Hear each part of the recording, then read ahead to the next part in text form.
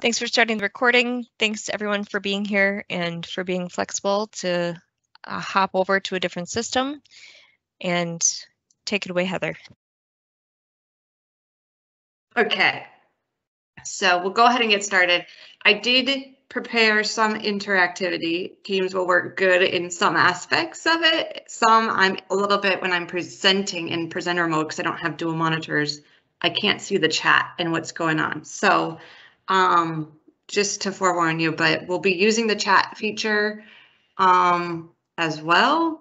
Uh, as and you guys can feel free to interrupt me if there's certain questions. I'm okay with that. Um, I don't want it to be just uh, you know, me lecturing you all. This is just a standard slide, so I'm going to skip over that, but that's for your reference. There's a lot of different acronyms that will be presented. Um, this presentation, Lauren, I will share with you afterwards because there's a lot of links and resources that everybody can have access to. Um, Perfect. And we'll, I'll get that to you guys afterwards.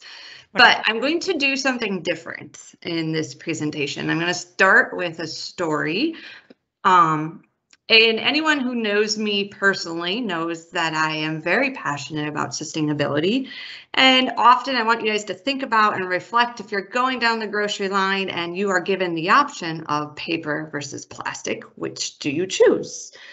You know, for me, who, well, look at it from a probably a mix of an engineering and sustainability perspective. I will definitely use the plastic for the cold goods because if it gets paper gets wet, it may break. But in general, my preference is usually paper, right? Paper seems biodegradable, it's natural, it comes from trees. Um, so environmentally friendly paper seems like the obvious choice, especially when I think about plastic and I see plastic outside, it kind of blows and you see it on the ground and it doesn't degrade, right? So um, paper would be my natural choice. But what we often forget is what other impacts paper um, actually has on the environment. And if you look at the raw material manufacturing of paper, I've shown this image here, you can see that paper also has environmental footprint um, as well. And in today's presentation, I want you to think about these case studies or this this example here. It's just one. There's certainly others. Um, decisions that we make and see how they translate to the transportation sector. What are some decisions that we think are autom you know think are more environmentally friendly? Um, and so we're going to go through some of those from and why, uh, you know, what are the trends we're seeing from uh, na nationwide in how those environmentally friendly decisions are coming up more in the forefront. And then we're going to look at the methodologies uh, to see, and now my view really changed, but this is kind of cool in the sense, sorry guys, um, I can't see my slides now, but I'll keep this to the side. Um, no, this is not working. I don't know why this popped up. Okay, perfect. So then, then we're going to go through some of the methodologies to how would we actually assess or quantify, was it paper or plastic that's more environmentally friendly? Um, and then we'll lastly sum up with what are some tools and resources um, moving forward. So the transportation sector, I would say, is going through a very drastic change um, since January, since the new administration came in. And largely it's focused on this challenge. I'm sure you guys have heard about it, the net zero 2050 um, commitment. And that means that there's a large focus on reducing our greenhouse gas emissions. And if you look at this chart here that's shown on the screen, um, transportation is now the largest of the, the sectors that releases greenhouse gas emissions. And 29% is the number from 2019 uh, EPA uh, of how much is transportation related greenhouse gas emissions. So in order to reach this net zero um, goal of greenhouse gas emissions, and net zero means that everything that's emitted, um, there's some savings. It's either captured and there's some negative or savings that balances it out to be all zero. So we're not you know, emitting any greenhouse gases. We're having some sort of capturing um, effects that come into play for the greenhouse gases that are emitted, and so that it's a, in a zero threshold. But the problem is when we look at that 29%, um, what does that actually include? So here I have the pavement life cycle stages shown um, in this image. There's material production, which has greenhouse gases. There's the construction that has greenhouse gases associated. There's the use phase. Certainly all the vehicles going over it has greenhouse gas um, emissions, the maintenance and preservation. And this was an area of interactivity. If you want, unfortunately, I won't be able to see the chat, but you could put in the chat, which phase do you think this 29% includes? Um, if you don't feel comfortable putting in the chat, that's fine. You could think about it, reflect. Um, and I'll give you a moment for people to think of what does that 29% include. And for those of you that answered just the use phase of the from the vehicle emissions or vehicle and the vehicle exhaust emissions of using the transportation system, that is correct. Um, so that 29% is actually quite a bit more of greenhouse gases that is associated with transportation, um, the transportation sector, because it's not including the materials production emissions. It's not including the greenhouse gases from those initial construction activities. It's not including any of your greenhouse gases from the maintenance and preservation activities or the end of life that 29% only includes the greenhouse gases from the use of the, the vehicles or the um, trucks uh, using our roadway system. Uh, in keep in mind, it is transportation sector and all, so it is larger than just our vehicle emissions. It's also rail, barges, and air. But just in general, um, from what a DOT can influence, it is there more than the 29%. And to illustrate that, what we have shown here is those life cycle stages of pavement up in the left corner. And we have mapped them to the greenhouse gas sector emissions to give you an idea that where these emissions are actually being accounted into. So you have some emissions in raw material manufacturing that is being accounted in this 23% of the industry sector. Um, that would be, for example, the raw material manufacturing emissions of cement production, of the uh, concrete mix production, etc. Of course, with any type of activity, there's some transportation of the materials and goods. So in that raw material manufacturing phase, there would be greenhouse gas emissions that are from that transportation sector, but that's the transport of the goods, um, as well as electricity. And you see that, you know, all of these phases have a little bit of a mix of all of them. And the use phase is primarily just the transportation sector and some electricity. Um, again, as are you guys seeing my presentation? I do not know what's going on because something keeps popping up. It's not done this ever to me before. I think it, Yeah, That's see good. Okay, good. I will just minimize that. Um, what is important to note is that these greenhouse gas em- or these greenhouse gas emissions from the raw material manufacturing, mixed design, construction, maintenance, and rehab, and end of life are what called the embodied carbon. So the embodied carbon um, is basically the life cycle emissions excluding that use phase. And there's a growing recognition that the embodied carbon and reducing those greenhouse gas emissions associated with the embodied carbon is important. As a result, there's a lot of different, um, you know, technologies or strategies that are being pushed and encouraged. For example, uh, using incorporating waste materials, you know, could that potentially reduce our embodied carbon? Um, recycling, increase our durability, use of local materials. These are all various strategies that we could use to reduce our embodied carbon. And many of the states have committed to to that net zero 2050 goal. Um, the an earlier goal is actually the 2030 goal, which is about 50% reductions of greenhouse gas. And I did do a survey of all of the members of the NRRA and found that every single state has some sort of greenhouse gas reduction goals in place. Um, you know, some of the states it's more just focused on the electricity production side of things, and some are more um, advanced or more aggressive, and they have statewide strategies um, to move forward and uh, looking at all of the the sectors. The challenges, and just similar to our earlier example in the beginning with the plastic versus paper, a lot of times we stick to one solution because of a, we think it as a feel good. We do, we recycle because we think it's environmentally friendly. Just like as I was in that store and I chose paper because I thought that that's more environmentally friendly. And that we're getting to a point where we really can't improve what we don't measure. You know, what is the true environmental footprint of a pavement? We don't have a good number for the various pavement types because we have not been measuring that. Um, if you were to think of what's the different costs, life cycle costs of the pavements, I know many of you could could tell. Tell me what for the various different pavement types, what that life cycle cost would be.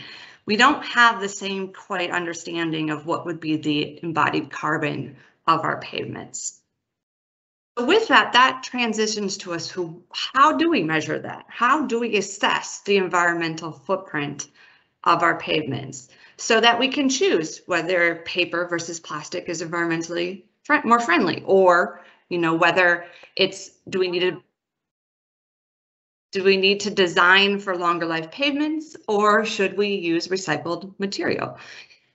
These are some of those strategies we could be looking at. And the approach is what's called life cycle assessment. Um, life cycle assessment is not a new approach. This was created back in 1970s. And there's actually some papers saying that it's even more standardized than life cycle cost analysis, which is something that everyone I'm sure is familiar with because um, it's done quite commonly in pavement design um, decision making. But with life cycle assessment, it looks at all the material inputs from that raw material acquisition and as well as the energy, and then also looks at all the outputs, which would be your wastes. And it could waste could be a solid or it could be waste to um, water and air as emissions. And it looks at all those wastes and it tabulates all of them and translates them to environmental potential environmental impacts. One being the potential for global warming, which is what a lot of states are focusing on as they want to get down to that net zero um, goals. For those of you that are unfamiliar with life cycle assessment, FHWA does have a resource here. So this link here at the bottom is a primer on LCA for pavements. It was completed by the Sustainable Pavements Program back about five years ago now, and it just kind of outlines how you would do a life cycle assessment for pavements in particular. One thing I do want you all to know is that LCA is not the same as LCCA. And I always put this slide on here um, because there is a lot of confusion with the two. It is very simple to leave off a C or add a C. I know I am guilty of doing that, being that I work in both and talk about them so frequently. Um, sometimes just mistakenly, I, I say life cycle cost analysis when I really meant life cycle assessment. That's one area. But the other area is a lot of people don't know the difference. And so it's very important when you're having conversations, especially with higher ups that are looking at trying to implement these two tools to be sure that they are understanding the same technique that you're understanding, that you're speaking about the same um, methodology. Life cycle cost analysis is life cycle is the economic piece and evaluates the life cycle um, life cycle cost of a product or decision. And then life cycle assessment is very similar, but it only focuses on that environmental piece. And these two assessment techniques are very important to reaching our overall sustainability goals if we're looking at balancing that triple bottom line, which is the social impacts, economic impacts, and environmental impacts. And what's so powerful about those three tools, or sorry, the two, life cycle cost analysis and life cycle assessment, is they can quantify the potential environmental impacts, but with that life cycle perspective thinking, which is important for um, concepts of sustainability because it's not just about balancing the social, economic, and environmental impacts for today, but it's also with that life cycle perspective because we don't want to compromise the future's ability to meet their needs in these three areas as well.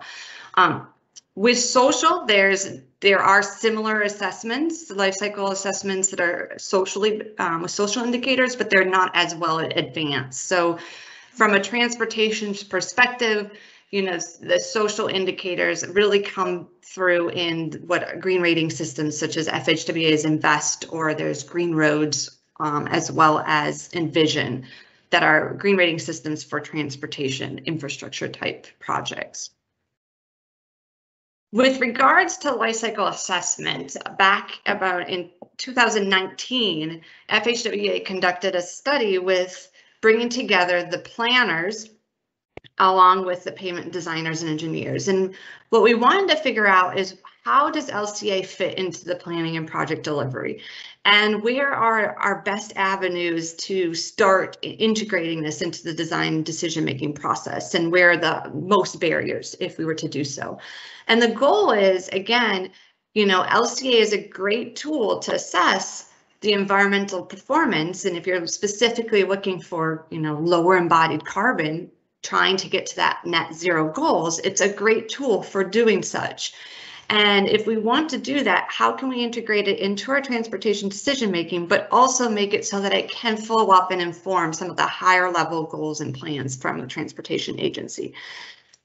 And so that was the effort of this this study. And what was the main outcome is what's shown in green here were the avenues um, where we should start begin focusing uh, incorporating LCA because they had the least amount of barriers. They're they're pretty ready, and that's what the stakeholders felt. So in the construction phase, you know, that is a great way we could be quantifying and benchmarking that our understanding of how much greenhouse gas is associated with our pavements.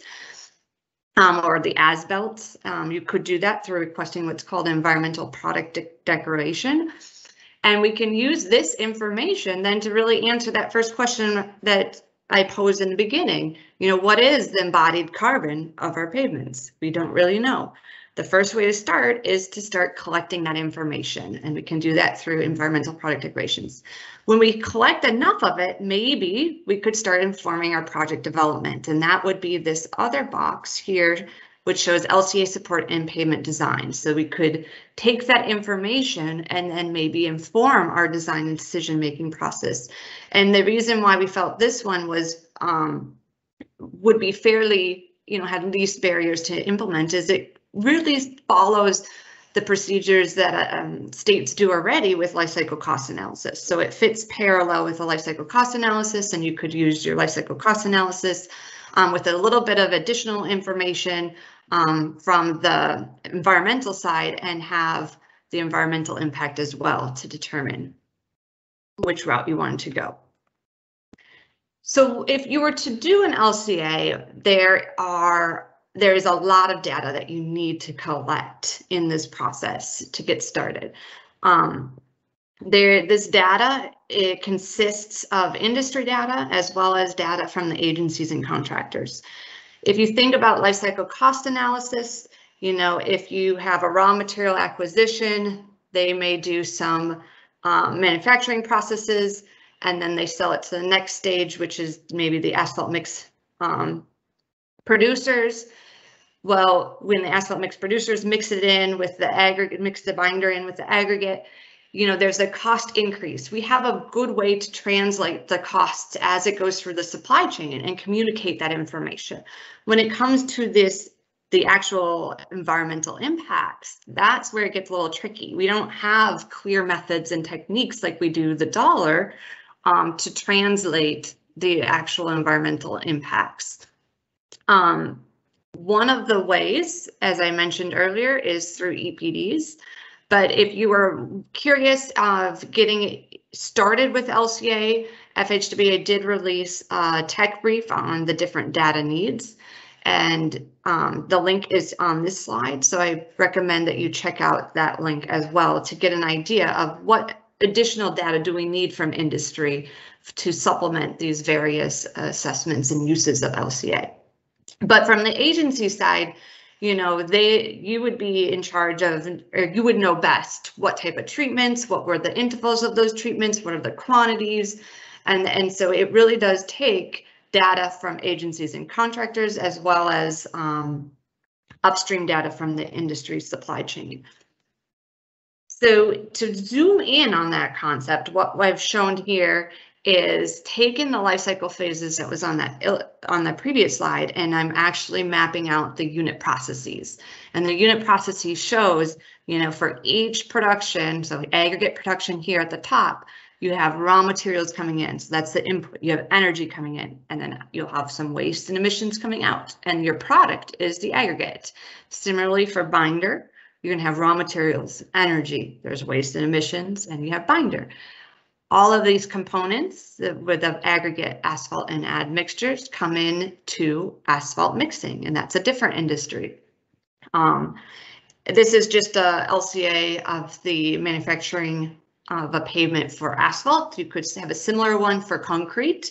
Um, and some of the, it would be, it would look very similar, just change the asphalt to concrete and asphalt binder to cement, for example. But it does illustrate how they all have energy, they all have some transportation, that there it's almost what we call the building blocks for LCA. And so each one of these boxes, the aggregate production, what industry is starting to develop are called EPDs to communicate that information. Um, so there could be an aggregate EPD which the asphalt mix producer would would ask for and include in the asphalt mix EPD, which if you're from an agency, you could request an EPD for the asphalt mixture and theoretically it would include aggregate EPD, asphalt binder EPD, asphalt mixture EPDs, and the primary data from that asphalt mix plant all together for you to understand what is that environmental footprint um, of the mixture.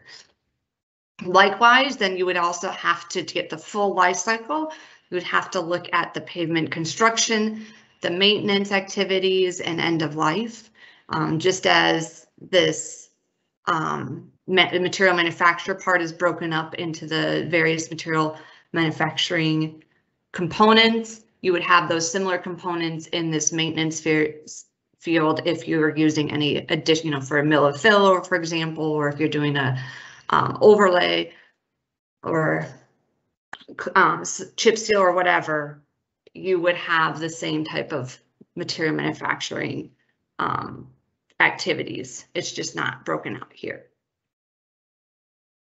To help us collect this information, the construction has is a great point of collecting EPDs and beginning to, for us to start building out these components and understanding what is the greenhouse gases associated. So um, at this point, I was going to ask everybody to raise their hand to see how many knew what EPDs are. Um, I've mentioned it quite a bit, but we're going to dive in for those of you that don't. Um, EPDs are essentially a life cycle assessment. The difference with EPDs is they follow what's called the product category rules. Um, and so EPD is, it stands for environmental product declaration. It's like a nutrition label that communicates your global warming potential, the ozone depletion, smog potential. They are standard, following a set of rules for one given product. So for example, in that schematic, we were looking at the asphalt mixtures. So they would define how asphalt mixtures is going to communicate their environmental footprint to an agency um, that could be purchasing that. What is nice about EPDs is they are created with stakeholders in mind um, and stakeholders in a in the process as well. So they a good um, a good PCR, which is the rules that are are written, would include you know, stakeholders from the industry would include LCA consultants, would also include non-government agencies or customers, all in part of the process. Um, they're very transparent and ideally they should be created in a way that could make it comparable. Um, that's essential of the PCR is, is to make it so that everybody's following the same rules when they create their LCA such that the results of this label can be comparable from one mixed design to another, for example. There are various types of EPDs. When we're looking at bidding, it's the most specific. It is what's called a plant specific a mix specific or a product specific facility specific EPD. So that means that that EPD that you if you get it from a for from a certain asphalt mix producer X, it is their primary data, it is their mix designs, it is their emissions, it's their transportation distances. What they don't control would be estimated. So or preferably using another EPD and that's and that's what a plant specific um, product specific facility specific EPD is. And so that is what is used in that bidding stage. If you want to use an um, EPDs as a building block, it wouldn't be to a broader LCA. That's when we would use more of an industry wide um, or a regional EPD. And so that's where you look at the averages because at that point, if you're looking at your design, you may not know exactly what mixed design you want to go to or exactly what facility, for example, would be producing that mixed design. So it's more appropriate to use an average. Um, in general, if you were to search and research the EPDs that are available, the majority of them are going to be these um, product facility specific EPDs. Um, along with there's several industry-wide EPDs being published. And the reason why the industry-wide EPDs are being published is the EPDs really came about when green rating systems got rid of the credits for recycling content. All back to everyone starting to realize that recycling could be a feel good, you know, we, we haven't really measured that. And so now we're moving to this stage of measurement. And so the green rating systems, with that in mind, got rid of those credits for our just recycling and introduced requirements for having EPDs. So products have to submit, um, in order to get the credit, submit an EPD, but they also want to encourage that the EPD has lower environmental impact, impacts than the industry-wide average. So that's why you'll see industries also publishing industry-wide um, EPDs. It is important to know these differences because there is a movement for requiring EPDs um, from statewide uh, purchasing or green public procurement. And they'll often reference these terms, a product facility specific EPD, or they may reference an industry wide EPD um, in general. So what makes the EPD actually comparable really depends on the product category rules. The product category rules are these industry consensus, consensus standards and they are what is used to develop the EPD so that it's consistent and transparent because anybody can then, you know, access and read the rules and understand what assumptions were made uh, to, to create that EPD. We do have a tech brief available on you know the overview of EPDs that I encourage you guys to to check out as well as the process of creating EPDs and PCRs. And then we have an additional webinar that just spends 30 minutes on EPDs and PCRs in general. I will like to note at this point in time, there is no federal law or requirement for PCRs or EPDs in green public procurement. However, I do know that, and this is publicly available, there is a proposed bill um, being written looking at uh, uh, encouraging EPDs for procurement. Um, it has not passed yet. It's just in the proposed stage from a federal standpoint. From construction materials, there's many different um, EPD programs already available. So industry has been working on this for the last 10 years, actually. I think most uh, product category rules are, are, um, are valid for five years. They, you know, they recognize that industry changes and there's new technological advancements, um, maybe even better data sources that should be used to help them assess the environmental footprint. So they are encouraged to be updated periodically. And Concrete is already on, for example, the second version of their PCRs, product category rules. Um, currently, for example, hot mix asphalt is undergoing a PCR creation. If there is a material that's not on this list, it doesn't mean that they may not have a PCR. You should always go out and check to see if a PCR is created. However, I know, for example, um, asphalt binders does not have a, a PCR created. So you, you really couldn't get EPDs for asphalt binders right now because there is no PCR created.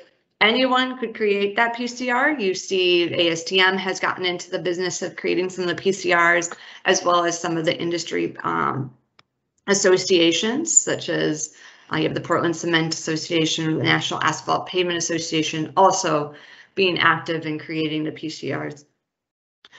In the initial creation, it does take, it can take up to two years to do it. Um, and that's because in order to create the PCRs, not only do you have that committee of all the different stakeholders, you would also want to do an LCA in tangent of creating the PCR so that you're informing, you know, what decisions make sense. Is the data available or, and whatnot? As you set forth to write how the industry would be conducting their environmental footprint. If a PCR is already created, it can be much shorter of a process, around a year. The PCRs will be reviewed by a third party after the um, PCR is created and also goes out to a public consultation process. So it is quite transparent and everybody you know, competitors can comment on each other's uh, PCRs. And there is that, again, third party review of what decisions were made during the process. And it's usually a committee in the third party review, including an LCA consultant and again, specific subject matter experts. The challenge is, is that it's quite hard to write PCRs, product category rules, that actually enable comparability and there's nobody overseeing all the PCRs to ensure that there's harmonization. Um, comparability means that, you know, within a product category, so they're written for a specific product such as concrete, all the EPDs of concrete theoretically should be comparable. The first phase of concrete EPD or EPDs that were created the PCR did not specify the background data sets. And a background data set, if you remember that image of the unit processes where I said energy and transportation, all these processes use some sort of energy and transportation. The environmental impacts of these activities should be the same, and they didn't specify what data sources should be used for those processes. And as a result, the EPDs in the first phase of the concrete program were not really comparable because it could have been just because they chose different data sets to use. And so that's why we have what we've created here, three phases. So some of the earlier EPDs that were being created were just really communication tools to demonstrate that their you know industries come be coming forth trying to transparently communicate their environmental footprint and quantify their environmental footprint as the PCRs have gotten better over time and these you know issues have been identified, they're they're becoming more comparable. So I would say the EPDs of the concrete current PCR, you know, they are prescribing their background data sets. And so now they can be used in as a procurement aid and they can help you determine, you know, what concrete mixture has lower embodied carbon if you wanted to use that in your decision making process. But as as you recall that graph, you know, we have other uses of EPDs. We could use them as a building block to that broader LCA to inform our pavement design.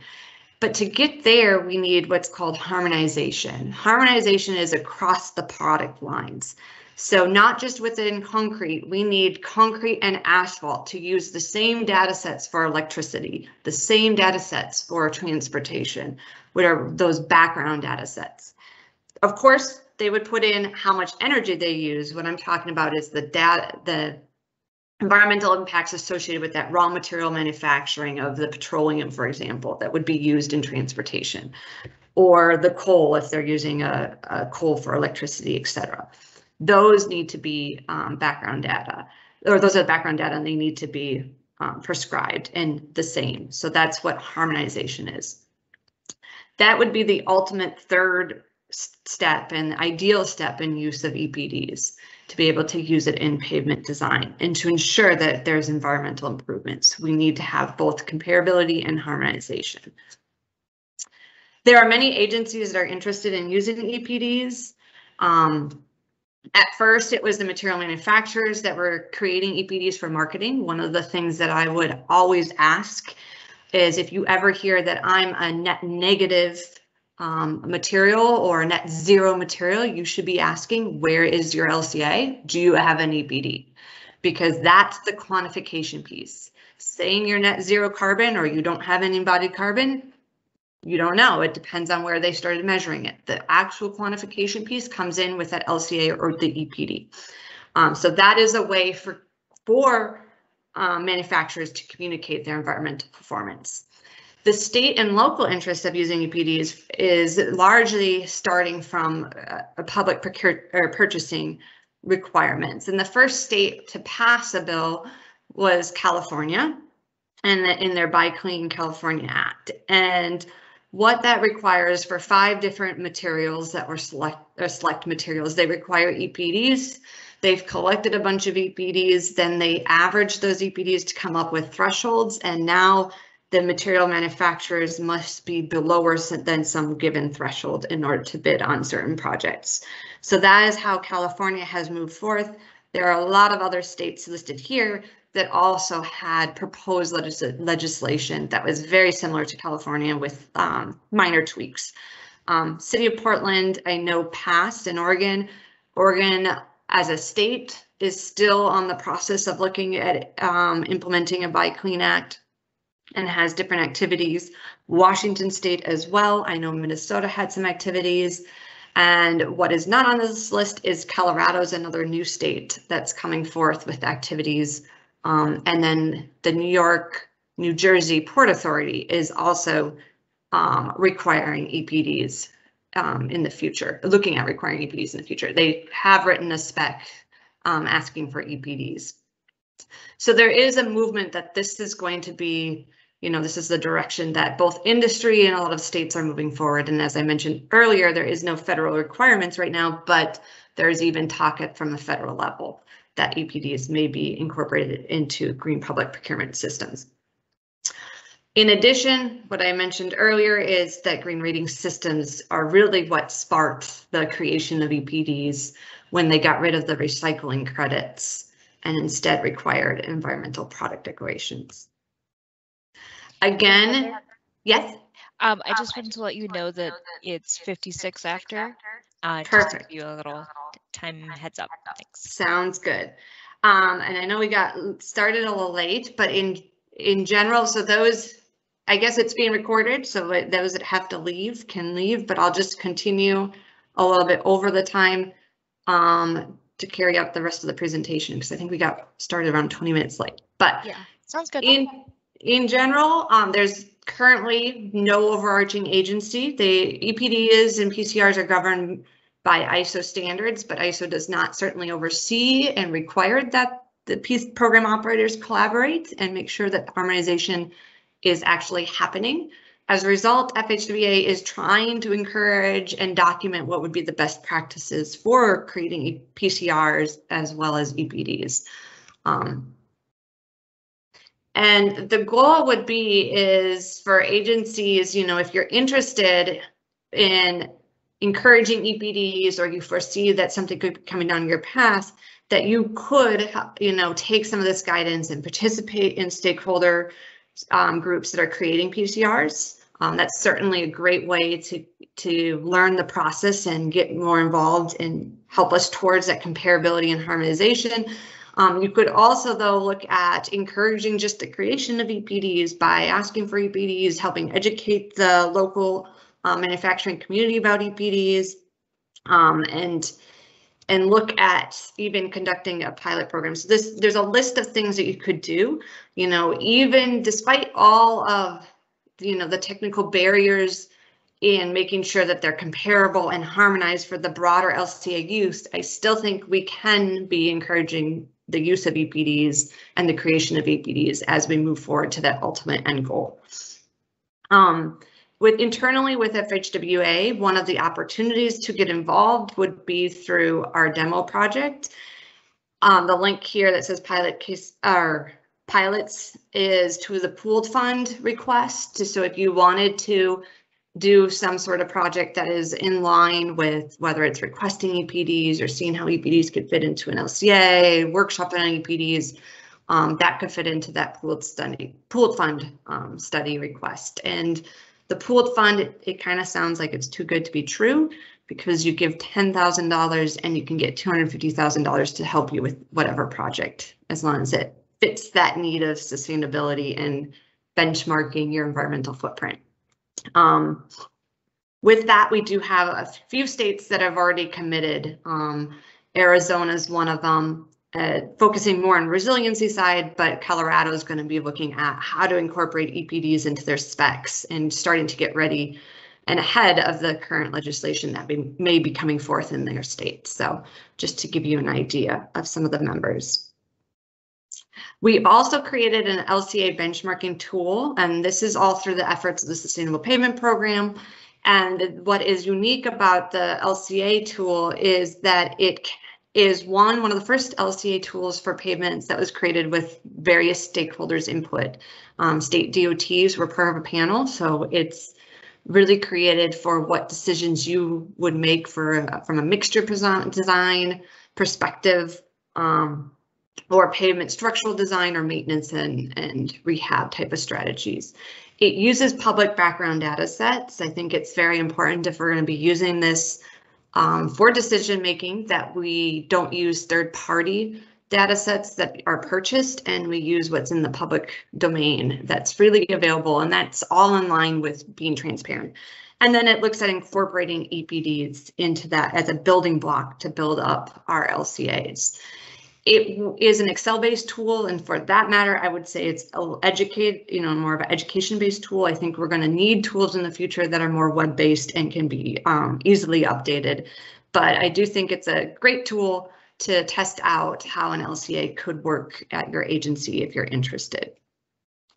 So moving towards the last phase of the, the presentation are the tools and resources. So how can you get you know started with LCA? What is and, and involved in creating some of the tools that I have discussed earlier.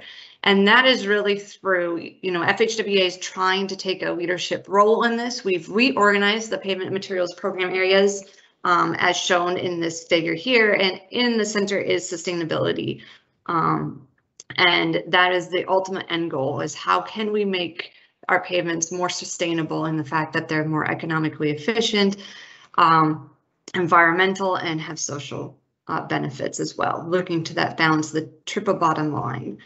And within that, and critical to the sustainability program area, FHWA has the Sustainable Pavements Program, which vision and mission is to advance the knowledge and practice of designing, constructing, and maintaining more sustainable pavements. So the whole presentation, you know, we talked about life cycle perspective. We're trying to incorporate that life cycle perspective and life cycle thinking, even in the mission, vision and mission of the program for sustainability. We work very closely with stakeholder engagement. So um, critical to the program is a technical working group um, so you're more than welcome to be involved in that. We put out various education um, resources as well as develop guidance and tools. So for the stakeholder engagement, again, following the theme of life cycle perspective, we want individuals that have various subject matter expertise in all the life cycle phases and from various domains, not, you know, not just um, agencies, but academia as well as industry. We meet twice a year. Um, in the past, we would be uh, in person and lately it's been virtual and moving forward, we're going to do a mixture of the two. Um, so we'll always have some virtual component because more um, more were attending those meetings when they were virtual as well as in person to really get into the details and weeds and discuss some of the concepts, which I think is in person is a little bit easier to do. The first phase of the program was really focused on quantifying or documenting the state of practice and there was a reference manual that was created as well as really diving into the um, how do you quantify the environmental performance. The reason we didn't focus on the economic performance is that's already been, you know, life cycle cost is already fairly standard at most states. But the environmental performance, we saw there was a real need and gap that we could contribute there. So at the bottom of this pyramid is the, the one of the main deliverables is that primer that I mentioned earlier on. Um, and that was about developed about five years ago. But the end goal in this whole vision that I showed or tried to illustrate earlier is to move it towards specifications and policies. How can we use LCA for specifications and policies? And so the, the last five years, we've been really focusing on how do we get up this pyramid so that we can use LCA um, to inform our decisions. And a lot of it relies on getting data, how do we communicate that data, how do we store that data, and getting creation of tools. And so that's been our large part of our effort in the last uh, five. With that, I mentioned we created the LCA benchmarking tool, LCA PAVE. Um, this tool not only quantifies environmental impacts of uh, materials and pavements, but also various treatments. You can make comparisons of the material sources, hauling distance, maintenance preservation activities, but it uses the public data. Um, so in in parallel to creating this tool, we worked with the Federal LCA Commons. It's a group of other federal agency representatives that are working in the domain of life cycle assessment to identify where, you know, public data exists, what are some of the gaps to create and, and support our tool. Moving forward, we would like to demo that tool with anyone who is interested. And so the next phase of our program will really be focused on how can we, um, you know, actually trying out and piloting LCA in, in decision making with state DOTs. And so in conclusion, um, you know, in, if we want to determine, you know, what is the environment, you know, more sustainable option or what is the more environmentally friendly option, we need to think of it from a life cycle perspective. We need to consider all the life cycle phases, not initial. Um, and for the environmental perspective, LCA is the tool. That's the methodology that should be used. Um, and with that, if you know, one of the the key areas that we're trying to to grow is we want to be a resource for states that are interested in in this area of sustainability. And we're working on tools we're working on guidance best practices. We want to be a partner with states to better understand how lca can be incorporated into their decision making process.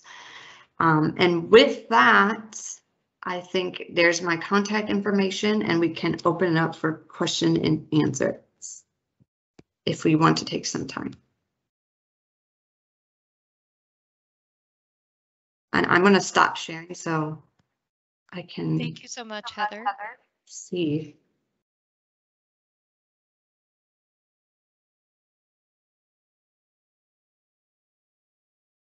If you have questions, yeah, it looks like I Bernard. think Bernard question. does. You can unmute yourself. That's the lovely thing of Oh, Teams.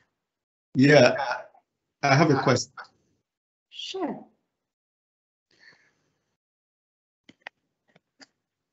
So, uh, first, first and foremost, uh, let me say, uh, with the presentation you just made, we are very proud that you are from Minnesota. so, having having said that, this is a good time for us to hear uh, these uh, sustainability uh, nuggets because we are diving into a phase where we are most of our MnROAD Phase 2 initiatives are uh, so sustainability and resiliency driven. Mm-hmm. And we've been asking ourselves, how do we really quantify, how do we really get to the um, uh, determination of a particular mixed design or a particular technology being sustainable and resilient? But this has shed some light. But the specific question I wanted to ask, like, let's take, an, um, for instance, the reduction in um, uh, cementitious content. Mm-hmm. Carbon cure, you know, carbon use of carbon uh, for sustainable concrete pavements. In a in a nutshell, if you if we wanted to run with what you have given us so far, we uh, we've heard of EPD, LCA, Invest, and PCR. Um, we don't know these things as much as you and uh, Dr. Uh, Rangelov. Uh, but I mean, what what are the what what should we at this stage? Because we are trying to develop RFPs, and we want to target these things right from the onset. What would you advise as a nugget? You know, so we don't leave it out, and at the end, you know, uh, we lose that step in the process of trying to ensure that these initiatives are sustainable what is the basic nugget you would have us do? Should we require the uh, PCRs? Should we do the LCA or should we just do invest, use invest as a basic way of uh, doing our evaluation? It depends on what your goals are, Bernard. Invest is a great tool from a transportation big picture project. And it, within Invest, there are credits for doing what I spoke about, which was quantifying the environmental impact using LCA. So Invest is more flexible. It's a little bit more round, well-rounded in the fact that it looks at the social, some of the social indicators. It looks at some of the economic and environmental, um, and tries to push different best practices. If you want to look at what I see most states trying to figure out and grapple with is how do we identify strategies to reduce our greenhouse gases that are pertinent to the decisions we make? You know, and and I say that because that 29% that was given earlier on, that's the transportation sector, that's what's thrown around that's the operational phase. And, you know, as a transportation agency, you can only influence so much of that mobility. You're not going to influence the, you know, vehicle emission standards, maybe so, not so much. But you can influence that embodied carbon. And that's why I focused on all of the the other decisions that we make as an agency in our um, design and purchasing and maintenance activities. So I would focus then on let's look at requesting EPDs and learning about them so that we can increase the awareness amongst our suppliers um, about EPDs and LCA, as well as asking for LCAs um, or looking at using them in a broader LCA per se. Um, I do think it's not one, it's two because asking for EPDs is is more on the supplier end, but from an agency, then looking at how LCA can fit in your agency is more um, what what you could do internally, because we're going to have to work together with industry on this yeah. and and moving forward. And many, you know, you mentioned CarbonCure. One of the things with CarbonCure before before we even research is does plastic make sense for in in asphalt or does CarbonCure make sense? Maybe we should be asking them have you done an lca how did you quantify? Because CarbonCure um, i think they often advertise that they're a net and either net negative carbon or neutral you know net zero carbon um, choice option well how did they quantify that where's the lca where's the data that shows that and um, I, those are the important questions that I think we should be asking the material manufacturers that are giving us this these marketing tidbits.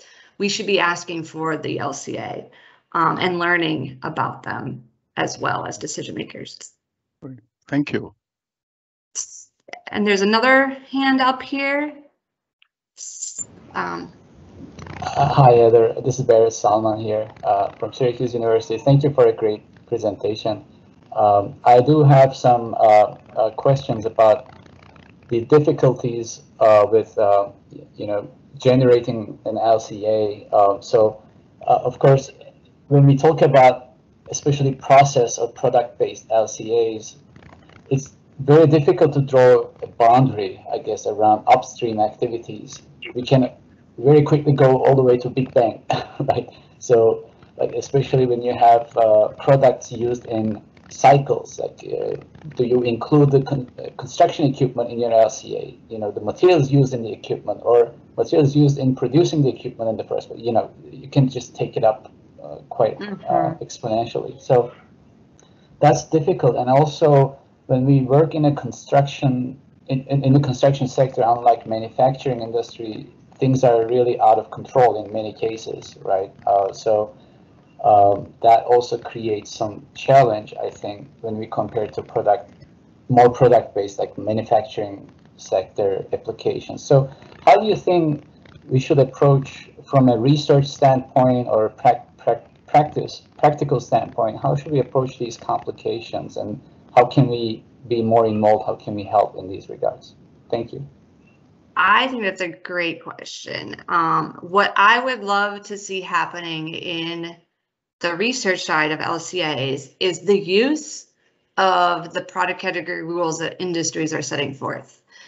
And they so industry has come together on how they're going to quantify, for example, the greenhouse or the environmental footprint of concrete mixtures. Yes, it is written from the concrete mix you know, manufacturer's perspective. So the primary data there that would be given is the energy used, et cetera. However, some of those questions that you brought up, someone was what should be included? Should the construction equipment of that plant be included or not? Or, you know, how, you know, those boundaries, those have all been defined. And they've been defined through a rigorous process and a third party review process and LCA informing how much do these processes actually impact the end outcome. And so I think instead of everybody kind of redefining those rules and setting those boundaries, we should be starting to work together in those practices and using them. So from an industry perspective, I think, um, or an industry research perspective, you could still use those PCRs, yes, with some nuances and differences, um, because you may not be providing primary data for the um, energy used to mix the concrete but you could be providing other in, insights. Um, so that's what I would like to see is, you know, is everybody coming around the standards that are being created for the various materials? Um, in addition, you know, I, I, think this is more towards the end of um, the tools that I showed were they're very static right now.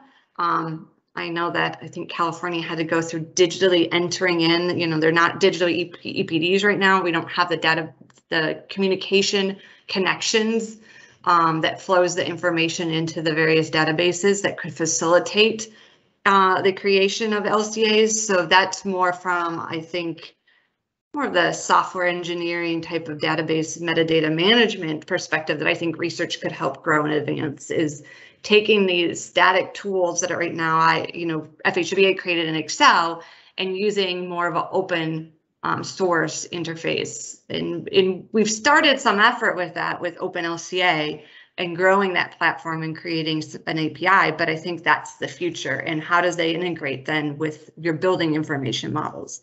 The architectural community, I think, is a little bit further than us um, in this in the horizontal um, community with this integration and communication of the data. Barry, I see that you have your hand up. Can you hear me? Yes. Sorry, I'm fighting with my mute button here. Good to see you again, and I appreciate your passion for the topic. Um, as we try to move forward, um, what do you see the role of FHWA being in this process?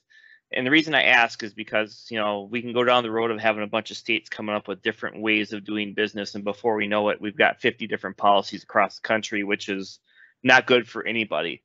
Do you see FHWA as more providing maybe some guidance and tools and frameworks for different levels, or where do you see your role going, and how do you see the legislative process uh, impacting it? That's a great question. And the fact that I, I totally agree with you, Barry. I foresee us going down the path of craziness and not only craziness from 50 different states, we have Canada that's in looking at a buy clean now. And many of the manufacturers operate in Canada and the US. So this also impacts international trade. As a result, I think that because it in it's not just state boundaries but international boundaries i think federal the federal government should have a strong role. Um, and that is a message that i'm communicating upwards whether or not they bite on that and we have the legal authority is another question. Um, so i think that's what makes it challenging uh, with that the other thing that I've been trying to work on is group gather a group of states that are aware of this coming and create awareness within AASHTO and TRB. Because I think recently, at least within TRB, um, in the research community, there was a sustainable pavements committee that's kind of now a subcommittee, no longer at a committee level, and so it's kind of hidden. Um, and within AASHTO, we really haven't found the the space of where this could rise up in in AASHTO and, and see where their involvement could be. Um, so we're trying to work at various levels to facilitate that so that it doesn't end up with 50 different standards, if that makes sense, Baris. Yes, thank you. And I could ask a million questions, but I'll save some for a separate conversation in future. Yes, feel free to reach out to me um, with any questions. Feel free to, if you're interested in anything I said, or you could help me with the AASHTO side of things in creating that awareness and the need for a group for this, please let me know because um, I'm trying to increase our network um, to get the message heard. I think we're good. We're about an hour. So we probably can wrap up. What do you think, Lauren? Sounds good to me.